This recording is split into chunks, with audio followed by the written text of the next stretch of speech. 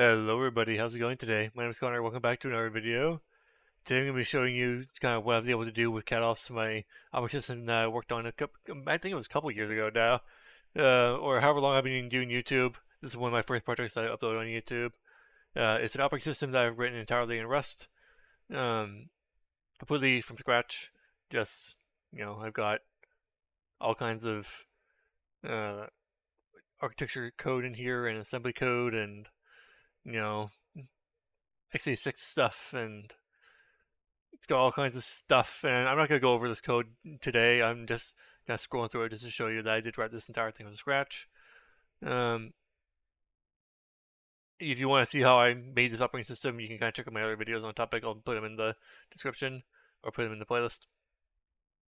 So, um, yeah, I wrote this operating system completely from scratch. This is all my own code. Um, and of course I was inspired and kind of helped a little bit by other um, other projects, but uh, yeah, for the most part, this is all entirely my own code. So it's even before I started using GitHub Copilot too. So uh, it's none none of this code is even AI generated. It's all just completely written from scratch. So um, anyway, that's besides the point. That's not what I want to talk about today. What I want to talk about today is um, how I was able to get Doom running on this thing.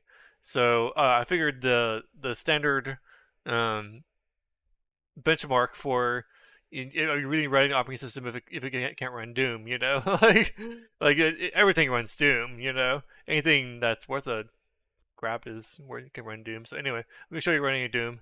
Um, so I can load the operating system here in the emulator uh, in QEMU. And you see, I've got all these kinds of uh, log messages on the side here. Let me make this a bit bigger for you. Uh, make this a bit bigger for you. There we go. So you see, I got all kinds of error message or log messages. Um, just kind of as it loads the initial process, the initial shell. And see, we have a do have a shell here. So let's make this a bit bigger for you. And then um, where I can what I can do is I can actually you know ls in this directory, and this is just a regular you know Unix shell essentially uh, logged in as the root user, except there's kind of no you know concept of a user in k4dos right now, but we're getting there. We're getting there. I'm gonna work on this operating system some more. I think kind of add on to it some more. Um, but I can actually go into the uh, user slash games slash doom and then see we got some uh, Freedoom here. Um, so I can run Doom generic and moment of truth. See it starts to run loading up Freedoom. Um, this is a Freedoom WAD. Uh, I, I did manage to port this uh, Doom engine uh, with some help uh, to my operating system, my custom operating system. I see it's running nice and smooth at about 3 FPS in the background. but uh, you know, I can uh I can um select the difficulty and all that, just bring on the pain. And yeah, this is kind of like the Freedoom test level as far as I understand. It's not exactly what you would normally see loading into, you know, E1, M1, you know. But um as you can see, we got a frame buffer here. We got uh, keyboard input. I'm controlling it with the keyboard right now. There's no mouse input for this. There's also no sound. Um, it's running entirely from RAM.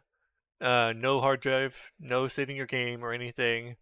Uh, it probably could save the game if I really wanted to, but you know, I can shoot my gun and there's supposed to be enemies. Um, not quite sure where they are. I haven't really fully explored this WAD yet, but uh, just kind of wanted to show you guys the capabilities of my operating system that I was working on for a long time, for al almost a uh, half a year. Um, about six months or so, I was working on this thing pretty regularly. Um, and I think I do want to return to working on this again. Um, just because I've kind of been having that itch of like super low level programming again. Uh, I'm starting to take a course on Udemy where it's kind of writing systems level code for and kernel level code for um, for uh, embedded devices like the Arduino or the ARM Cortex or whatever. So um, it's kind of what I've been doing lately. Oh, how how did I do that?